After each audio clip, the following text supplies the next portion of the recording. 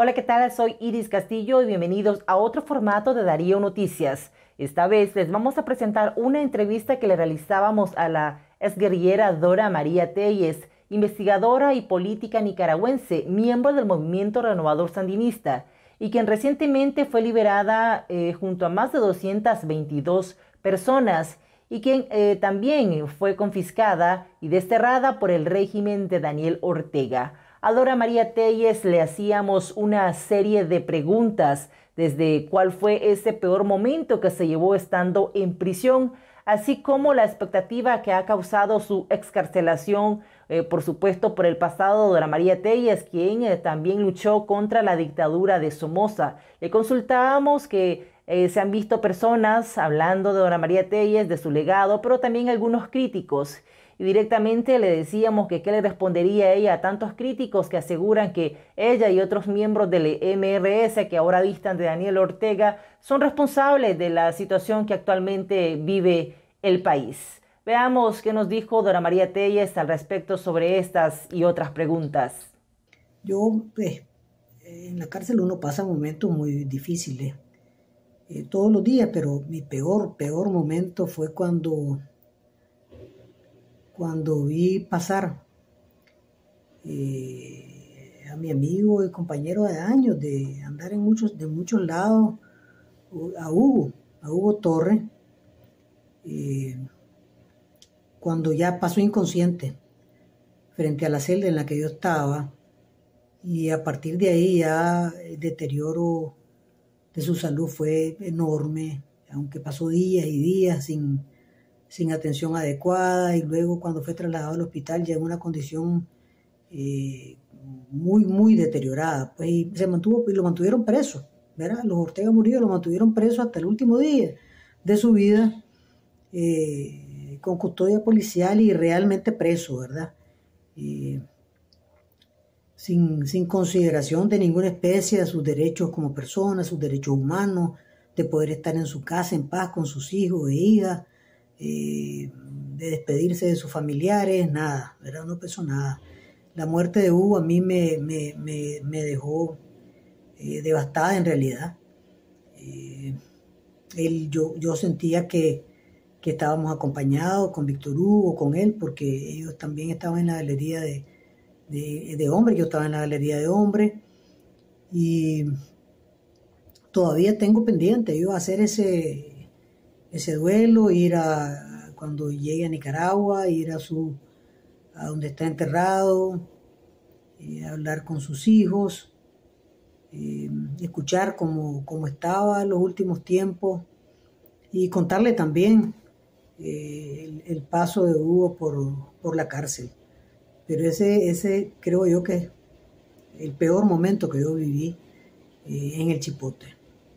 Yo soy una persona que eh, veo mi pasado como parte de mí misma y ese el pasado de cada quien es parte de uno mismo. Uno, yo no trataría de cambiar cosas de mi pasado, trato siempre de aprender de lo que he vivido para mejorar lo que me toca por vivir, para rectificar errores, para corregir cosas que me parece que yo eh, podía haber hecho mal y ahora puedo hacerlas de otra manera porque también tengo otra edad. Eh, pero pues yo me siento orgullosa de haber participado en la lucha contra la dictadura de Somoza, sin, sin ninguna duda. Eh, de la vida también que he tenido, ¿verdad? Yo pues tengo ya más de 30 años de no tener ninguna función pública, de tener una vida de eh, hacer política sin interés específico de cargos o de salarios o de estar colgada del presupuesto. Me, tengo orgullo de estar ah, participando en la lucha contra la dictadura de los Ortega Murillo y he, pagado el precio. esa es mi vida, ¿verdad? Eh, pero claro, uno siempre aprende de lo, que, de lo que ha vivido en el pasado, de sus momentos distintos, pero son distintos momentos, es decir, la vida es bien diferente. Eh, es como que a uno le preguntan, pues, que ¿Qué otro tipo de vestido usaría en tu primera comunión? Yo no sé, yo creo que yo usaría el mismo, el que hizo mi mamá para mí. Eh, que tal vez me gustaba más o me gustaba menos, pero bueno, lo hizo mi mamá y ella era una magnífica costurera y lo hizo con un enorme amor. yo pues eh, leo mi vida y la releí mucho durante el tiempo de permanencia en la cárcel. Releí hecho por hecho de mi vida, pues, y, y, he aprendido mucho, pues, es decir, qué es lo que puedo hacer mejor, qué es lo que debería hacer de otra manera, qué tendría que cambiar de la vida actual que tengo. Eh, y eso es lo que ahora eh, da como resultado la persona que soy.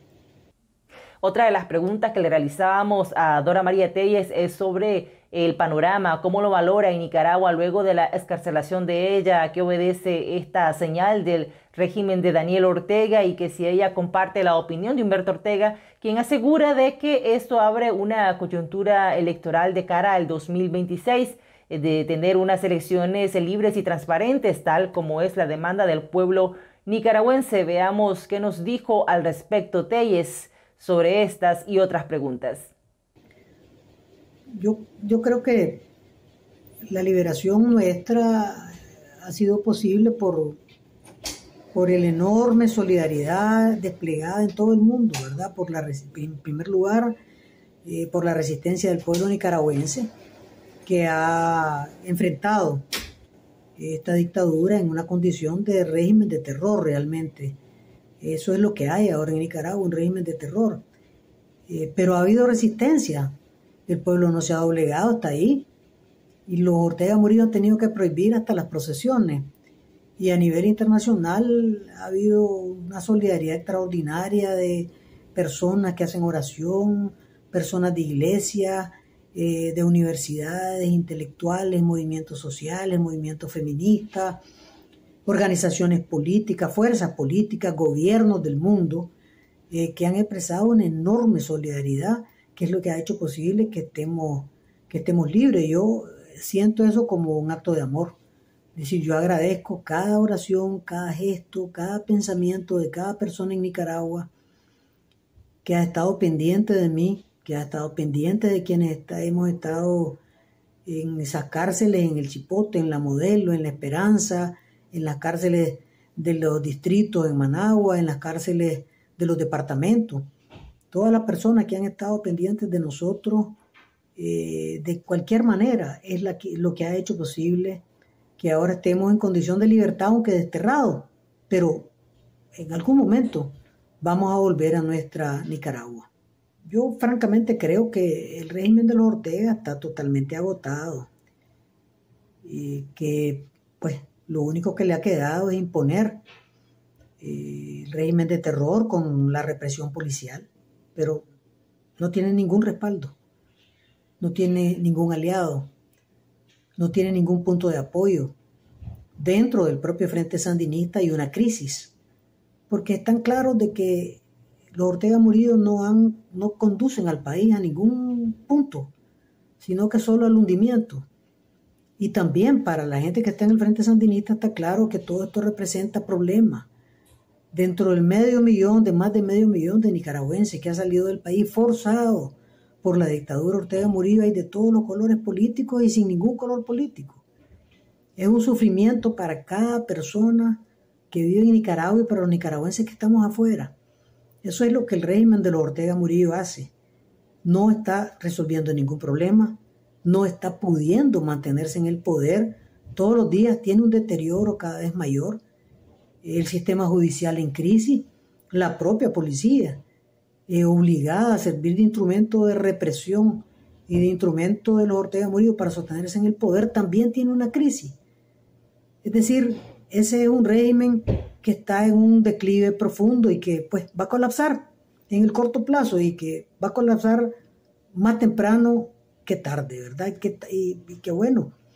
Eh, el general Humberto Ortega lo, dijo con toda claridad, eso no tiene ninguna salida. Y él puso la salida en las elecciones del 2026, pero de aquí al 2026 ese régimen está total y absolutamente rematado. Eh, y yo creo que los Ortega Murillo se pasan llevando, era lo que, lo que han encontrado, pero el pueblo nicaragüense es el que tiene la última palabra los nicaragüenses somos los que tenemos la última palabra sobre, eh, sobre esta situación. Pues yo no, no he tenido tiempo de conversar con, eh, con, mucha gente y obviamente tampoco he tenido tiempo de conversar con el general Humberto Ortega.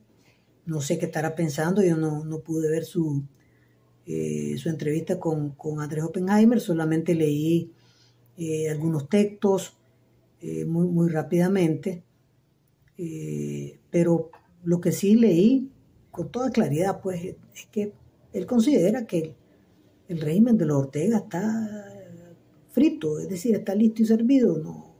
Él le da de plazo hasta el, hasta el 2026, pero lo dice con toda claridad, eso está acabado. Y además plantea, pues, él, su, su, su, planteamiento es de un diálogo para, para salir de la situación, pero también su planteamiento es de que los nicaragüenses tenemos que estar en nuestro país, la oposición debe poder regresar. Y el régimen de terror tiene que terminar, no puede seguir habiendo eh, presos políticos en Nicaragua. Muchísimas gracias por estar con nosotros. Estuvo con ustedes Iris Castillo y gracias por supuesto también a Dora María Telles, quien no dudó ni un segundo con decirnos sí a esta solicitud que le hacíamos de entrevista. Sabemos que su estado de salud en estos momentos no es el mejor, pero también le esperamos que se mejore y que pronto vuelva a estar con nosotros aquí en Darío Noticias, pues su entrevista fue muy conclusiva. Ella asegura que los días de la dictadura están contados y que Ortega no llega al 2026. Así que de esta forma nosotros le vamos a mantener a través de estos formatos esas voces críticas, esas voces de alientos que nos llevan a todos los nicaragüenses que estamos ansiosos de una reparación y justicia para nuestro país.